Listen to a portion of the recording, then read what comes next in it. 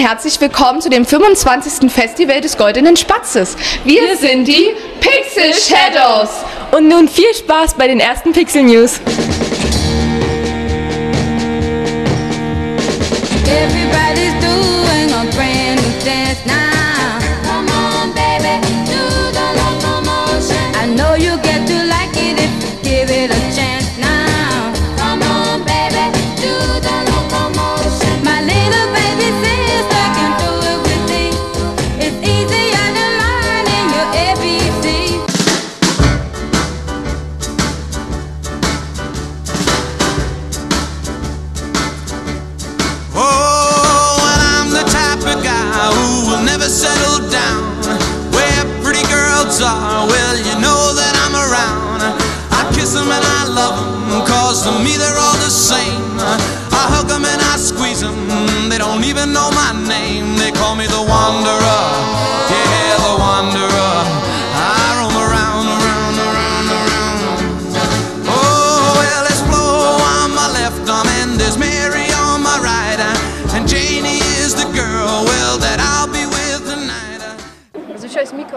Ich heiße Leon. Ich heiße Kevin.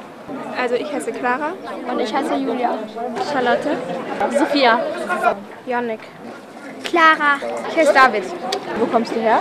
Aus Sachsen. Ähm, aus Luxemburg. Erfurt. Dietfurt aus Bayern ist in der Nähe von Ingolstadt. Also schon ein bisschen weit weg, aber bei Ingolstadt. Aus Emshorn. Aus Köln. Aus Witten.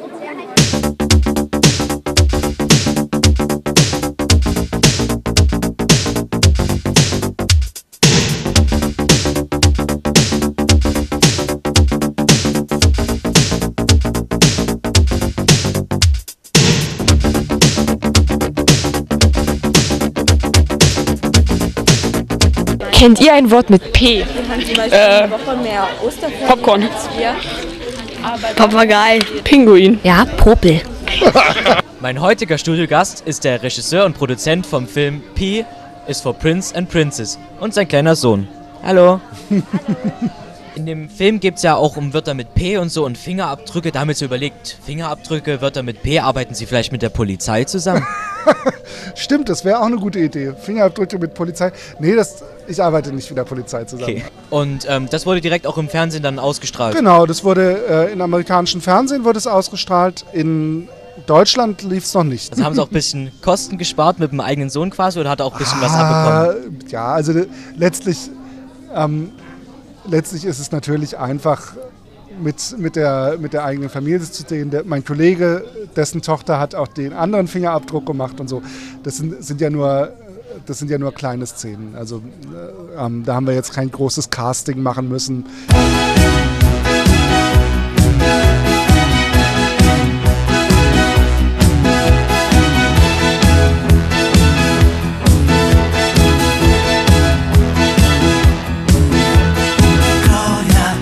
Sind Sie denn glücklich?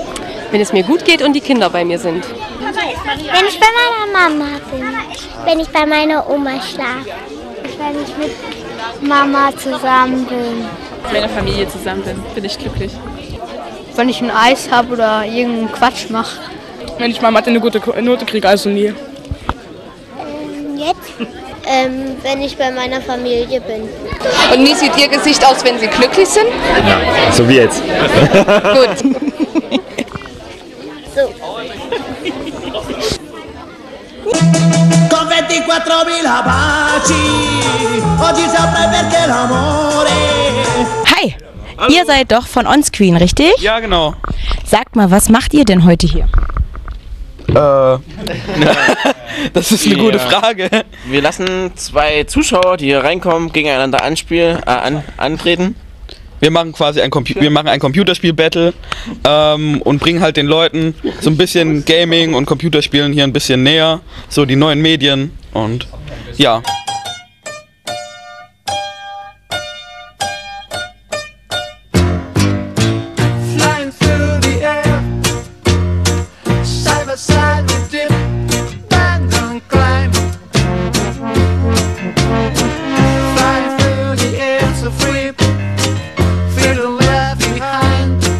Nächster Studiogast ist die Hauptdarstellerin im Film Hip Horses, Mia. Hallo. Hallo. Ähm, du lebst ja auch so im realen Leben auf dem Bauernhof. Wie kann man sich denn so vorstellen, so wie das so ist, auf dem Bauernhof zu leben? Hast du da viele Aufgaben, immer früh aufstehen oder so? Ja, also es ist schon schön und Aufgaben habe ich auch ähm, bei den Pferden. Und wie kann man sich das denn eigentlich so vorstellen? Ähm, bei den Dreharbeiten wurde ja quasi dein normales Leben die ganze Zeit mit der Kamera verfolgt. Konntest du noch normal leben, wie immer, oder war das doch ein bisschen anders? Es war doch ein bisschen anders, aber es war eigentlich toll so vor der Kamera. Also eine schöne Erfahrung. Ja. Du hast ja dein Pferd gezählt. Wie kam das so, dass du da so die Idee hattest, ja, ein Pferd und so? Und wie hast du das dann so geschafft? Naja, also die Besitzerin von äh, dem Pferd hatte halt ein Kind bekommen, also wollte ein Kind bekommen und äh, dann musste sie halt jemanden finden, der in der Zeit halt mit Charlie, naja, Spaß hat. Dieser Becher ist viel zu groß für mich. Wenn du willst, können wir tauschen. Ja, danke schön. Wir waren heute in dem Film Hans im Glück. Der Film hat uns relativ gut gefallen. Jedoch sind wir der Meinung, dass Leute, die das Märchen schon kennen, nicht wirklich viel Neues entdecken werden. Der Film ist ja ab acht Jahren empfohlen und wir finden, das ist ein gutes Alter. Außerdem sind die Kulissen und Landschaften echt wirklich schön gewählt. Und Maggie, wann hattest du das letzte Mal Glück? Genau gerade. Ich habe nämlich Gummibärchen. Wenn du willst, kannst du welche abhaben. Na klar, danke schön.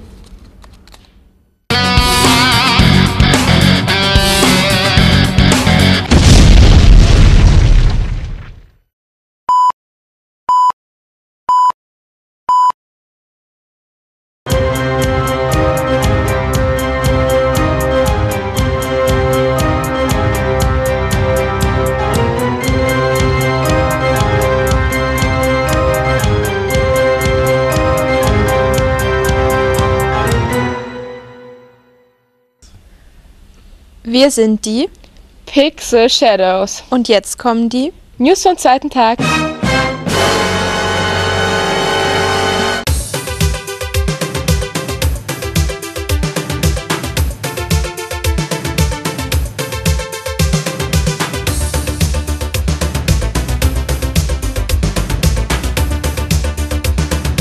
In diesem Kinosaal läuft gleich der Film Jan und Henry trennen Müll. Nun wollen wir von den Besuchern wissen, was für sie Müll ist und wer zu Hause den meisten Müll produziert. Papier, Plastik und Pappe. Plaste. Ich schmeiß zu Hause immer ganz viel Papier rein. Ähm, Essen oder so, die Reste. Ja. Oder, oder Plastik. Bilder, die man, wo man was vermalt hat und dann nicht mehr schön aussieht. Na, Klorollen, die alle sind und, und Küchen und leere Küchenrolle. Also bei mir machen alle den meisten Müll. Bei mir auch. Mama. Bei uns ist es manchmal unterschiedlich. Bei mir ist meistens unterschiedlich. Bei mir auch. Mama. Ähm, Papa. Bei mir zu Gast ist jetzt Juri aus vom Baumhaus. In der Folge vom Baumhaus geht es ja um die Mülltrennung. Ist für, für dich die Mülltrennung auch genauso wichtig? Auf jeden Fall, klar. Also ich meine, es ist ein Beitrag, den jeder leisten kann zum Umweltschutz. Und äh, es wurde ja ausgestrahlt in, in einer Woche im Kika, in der es eben um Umweltschutz ging. Ja. Und deswegen haben wir eine Folge gemacht, wo wir dachten, dass man auf lustige Art und Weise mit Jan und Henry, den beiden süßen Erdmännchen, das Thema vielleicht rüberbringen kann. Was halten Sie denn da, also was hältst du davon mit dem Plastikmüll? Sollte man den eher abschaffen oder so ein bisschen Plastik da lassen oder Naja, grundsätzlich glaube ich, sollte man einfach Müll vermeiden, da wo es geht und natürlich trennen, wo man kann. Also klar, dass man jetzt Biomüll und Verpackung und das ein bisschen auseinanderhält und Papier abgibt und Glas zum Altglascontainer, das ist ja mittlerweile zum Glück selbstverständlich. Und ähm, denkst du, dass es die Kinder, sage ich jetzt mal, so besser verstanden haben durch, durch deine Erklärung? Oder, oder ob sie jetzt vielleicht, ich sage jetzt mal, mit offeneren Augen durchs Leben gehen und äh, mehr auf die Umwelt achten? Also es ist ja unser Ziel, natürlich irgendwas zu bewirken. Aber natürlich nicht mit dem Zeigefinger und sagen, du, du, du, schön Müll trennen, immer alles schön sortieren. Nee, nee, wir versuchen eben mit einer lustigen Geschichte einen Inhalt zu transportieren. Und ich hoffe, dass es uns geglückt ist.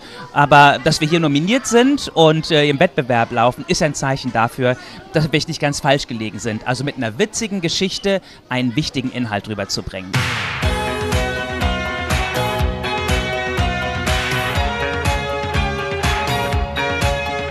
Wir waren in dem Film Jan und Henry trennen Müll vom Kika Baumhaus.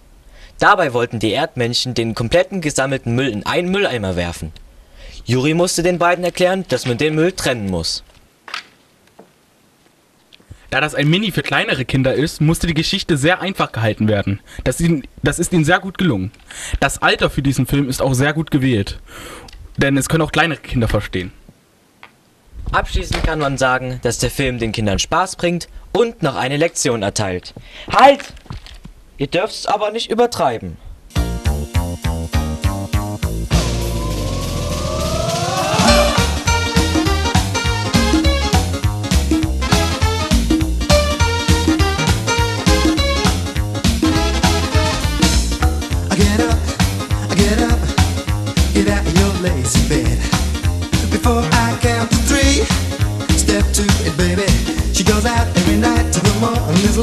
Heute läuft der Film Wir Kinder aus dem Möwenweg, wir kommen in die neue Schule.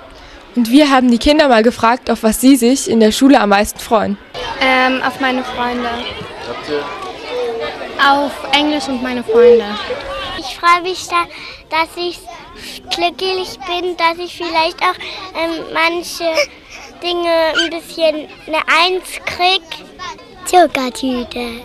Wenn man sozusagen zusammen mit Freunden sein kann und in der Pause am meisten. Also. Und, wenn, und wenn der Unterricht nicht zu anstrengend wird. Auf Ausfall. Ich freue mich auf Mathe, weil ich da ganz gut bei Mathe rechnen ist und ich bin ganz gut in Rechnen. Kunst, auf den Kunstunterricht. Französisch und Kunst.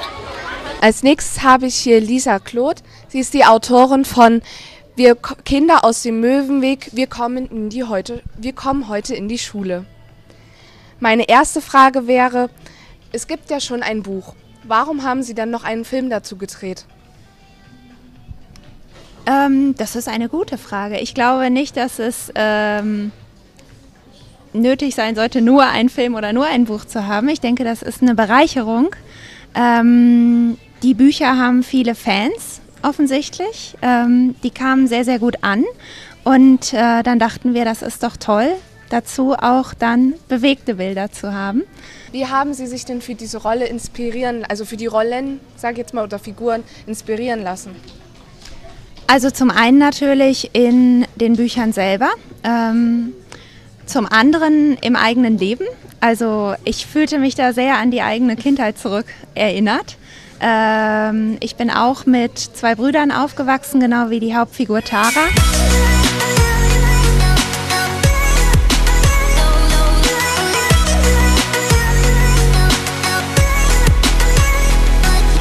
Herzlich willkommen im Studio bei mir. Hier sind heute Matthias Franzmann und Peter Krocker, Redakteure aus dem Kika. Meine erste Frage ist, Ene Mene Mu, das ist doch für Vorschulkinder gemacht. Ähm, ist das Vorschulfernsehen für Kinder wichtig? äh, Inimene Bu und also hast schon mal richtig gesagt, ist für Vorschüler und äh, Vorschulfernsehen ist für Kinder wichtig, weil Kinder lieben Fernsehen. Also auch jetzt noch, auch mit Internet, mit Radio, mit allen anderen Medien ist Fernsehen immer noch das äh, ähm, wichtigste, das Leitmedium, auch für Kinder. Ähm, und somit bieten wir für Kinder, für Vorschulkinder ein tolles Programm an. Aber Kinder sollen doch eigentlich draußen in der Natur spielen und nicht Fernsehen schauen. Was ist da Ihre Meinung? Ja, ähm, na, Enemene Bu und auch alle anderen Programme sollen ja jetzt nicht äh, ersetzen, dass Kinder draußen spielen. Das ist Mhm. wichtig und das würden wir auch immer so äh, betonen. Enemene Bu zum Beispiel äh, regt ja Kinder viel mehr an, selber tätig zu werden. Ich würde gerne mal wissen, wie Sie auf die Sendung Ene Menubu überhaupt gekommen sind. Und im Grunde genommen haben wir geguckt, was noch fehlt im Programm und haben gesucht nach einer Sendung für Vorschüler, wo die Kinder auch im Mittelpunkt stehen. Also Vorschüler machen quasi Programm für andere Vorschüler. Wir verzichten größtenteils auf Erwachsene, die im Bild gar nicht zu sehen sind. Klar findet was unter Anleitung statt, aber wir wollten gerne zeigen, dass äh, im Mittelpunkt der Sendung sollten Kinder stehen und so machen Kinderprogramm für Kinder. Das gab es vorher noch nicht und äh, so ist dann in einem kreativen Team bei uns im Haus Enemene Bu entstanden. Der goldene Spatz in Gera fliegt nicht nur im Kino herum, sondern auch außerhalb. Wir waren mit unserer Kamera beim medienpädagogischen Programm im Zabel-Gymnasium. Hier ein paar Impressionen.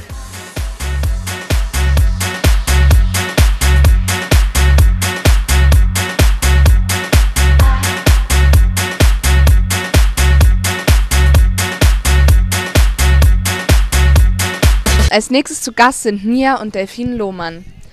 Wie alt seid ihr denn? Wir sind jetzt zwölf geworden im April. Konntet ihr euch denn in den Rollen, die ihr gespielt habt, äh, wiederfinden? Also Ja, doch, ich total. Weil ich bin voll wild, ich bin frech, ich bin abenteuerlustig, ich bin laut. Verrückt. Verrückt, ja. Und ich halt gar nicht.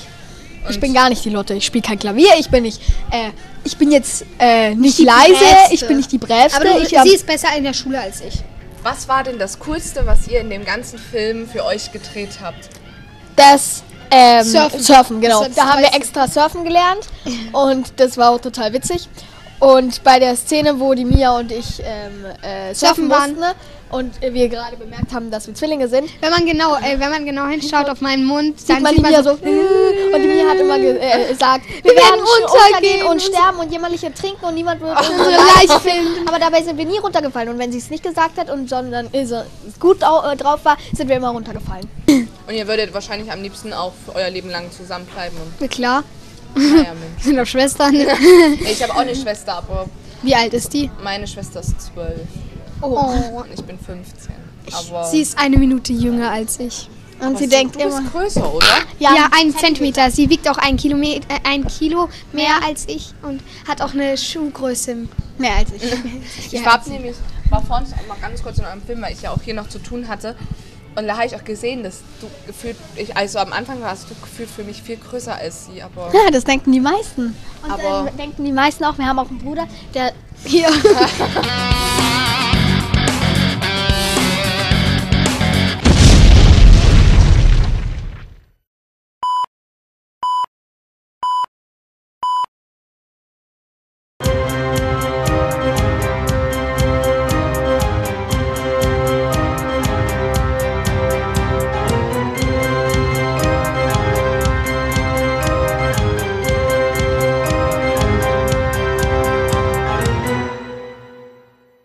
Tag 3. Verdammt, unsere Schatten sind immer noch auf der Leinwand. Denn wir sind die Pixel Shadows. Und wir sind überall. Und was ist jetzt mit den Pixel News? Die kommen jetzt. Ey, Ruhe da vorne!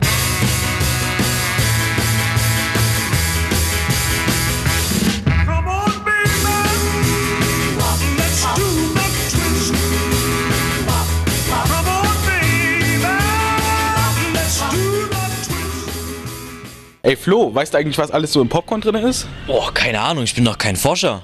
Dafür haben wir ja unsere neuen angehenden Forscher. Wir waren im Film Nectons die Abenteurer der Tiefe, um mal zu fragen, was die Kinder so gerne erforschen möchten und was ein Forscher immer dabei haben muss. Ähm, ich würde mal gerne auch solch, solche Riesenoktopusse erforschen. Keine Ahnung. Ähm, also ich würde gerne ähm, halt die tiefste Schlucht der Welt ähm, erforschen. Ich würde gerne das Universum erforschen. Ähm, äh, das Ende des Universums. Ich habe keine Ahnung.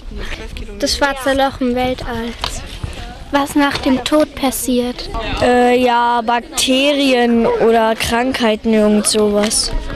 Ja, ich würde gerne medizinisch noch was erforschen. Ich würde gerne einen Blauwal erforschen. Eigentlich nichts. Ja, äh, richtig gerne. Und zwar, ähm, wie Mathematikunterricht Spaß machen kann. Yummy, yummy, yummy, I got love in my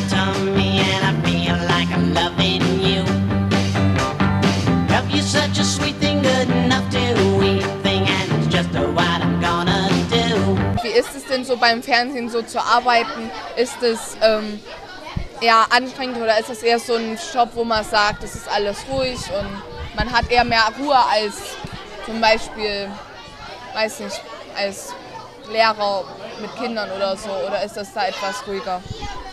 Nein, also es ist tatsächlich nicht ruhiger beim Fernsehen. Es ist ähm, ein sehr spannender, interessanter Beruf. Ähm, immer wieder was Neues. Ähm, du kommst, kannst auch mal mit auf den Dreh fahren und lernst immer wieder neue Leute kennen. Du musst dir immer wieder neue Sachen ausdenken. Also es ist, ähm, wird nie langweilig. Es ist ein ganz spannendes Feld. Never know how much I love you. Never know how much I care. When you put your arms around me, I get a fever that's so hard to bear. You give me fever. Wir sind auf dem Weg ins Kino zum Wettbewerb 11. Dort läuft ein Film über Flüchtlinge und über den Frieden. Wir wollten von den Kindern wissen, was sie unter Frieden verstehen und was für sie Frieden ist. Wenn alle miteinander Freund sind. Okay, du was dazu? Ähm, Für mich ist Frieden Peace und halt ein glückliches Zusammenleben, ein friedliches Zusammenleben, halt ein gutes Zusammenleben. Ähm, Friede ist, dass, dass keine Menschen sich mehr gegenseitig ähm, so im Krieg so gegeneinander abschießen und so halt. Dass es keinen Krieg mehr gibt, sondern Frieden schließen und so halt. Und nicht so immer so, auch das gehört jetzt mir und nein, das will ich haben. Dass ähm, alle Menschen miteinander glücklich leben und ähm, kein, es keinen Krieg gibt. Und sowas. Äh, dass Menschen sich nicht gegenseitig kämpeln oder streiten. Wenn alle glücklich sind. Äh, für mich ist Frieden, wenn, kein, wenn alle friedlich zusammenleben und äh, keiner jetzt äh, Streit macht oder andere halt ärgert und alle einfach sich nicht prügeln, sondern es naja, so regeln, dass es nett verläuft.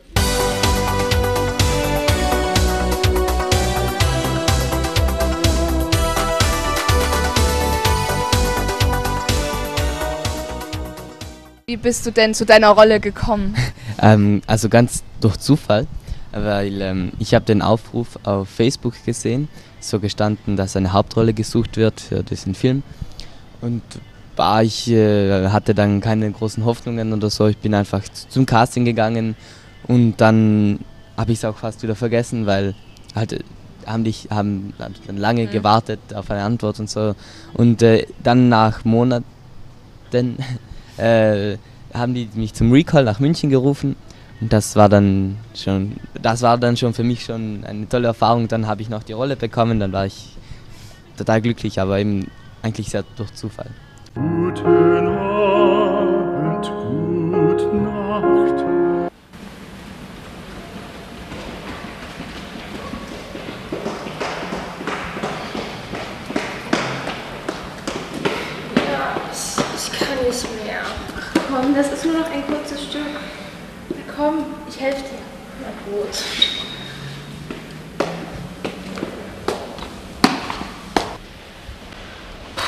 Ich bin so aus der Puste. Ohne dich, Lina, hätte ich das niemals geschafft. Ja, aber wir haben es geschafft. Genauso wie Amelie gerade in dem Film Amelie rennt. Diesen Film haben wir uns nämlich genau gerade im Kino angesehen. Ja, Amelie hatte Asthma und hat es auch einen großen Berg hochgeschafft. Um ehrlich zu sein, hat uns der Titel des Films nicht so ganz überzeugt. Jedoch hat uns der Film im Endeffekt echt gut gefallen. Und am schönsten war die große Kulisse. Und die Schauspieler wirkten auf jeden Fall sehr überzeugend. Wir würden den Film auf jeden Fall weiterempfehlen, da er uns sehr gut gefallen hat.